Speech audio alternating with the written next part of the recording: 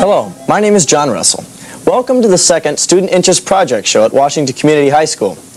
Our first guest today will be Mr. Ken Hess, the band director, and one of his drum majors, Robert Johnston. Mr. Hess, How do you do? how do you do? My pleasure. First, I'd like to congratulate you on your uh, win down at Eastern Illinois. Thank you. It must have been a, a very rewarding. Could you please explain it to us, please? Well, we uh, were in competition with 10 other Class A and AA bands at uh, Eastern Illinois University in Charleston.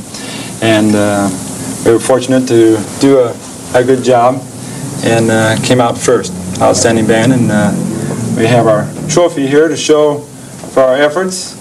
And uh, I was fortunate enough also myself to receive a plaque. So we're quite proud of both, uh, both of these uh, awards and quite an honor for us. Our first, uh, our first first in a uh, competitive show.